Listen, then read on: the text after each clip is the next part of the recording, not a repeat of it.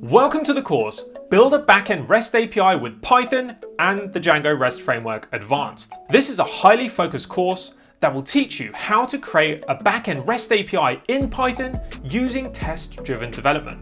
You probably already know the significance of Python.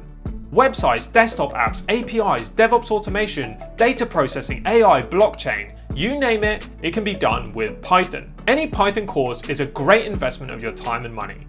But what distinguishes this course from others? Test-driven development and our very own code checker tool so students can verify their code in real time. But first, what is TDD? TDD is what separates good developers from great ones. This is because it vastly improves the reliability and robustness of the code you write. In this course, we aim to demystify test-driven development by creating a very specific project using the best practice principles of TDD. We're going to build a fully functioning REST API that handles authentication, creating objects, filtering, uploading images, and more. The API we're going to build is a recipe API.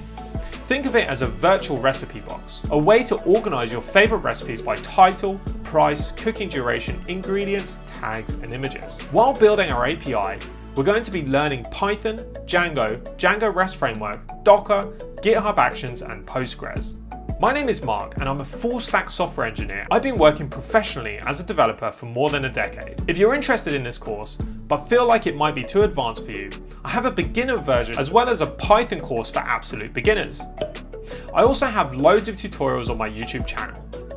So if this course is for you, I promise you'll be getting loads of hands-on experience putting test-driven development into practice. You'll learn how to create some advanced API features and you'll come away with a fully functioning REST API that you can use as a foundation to build any app or project. So let's dive in.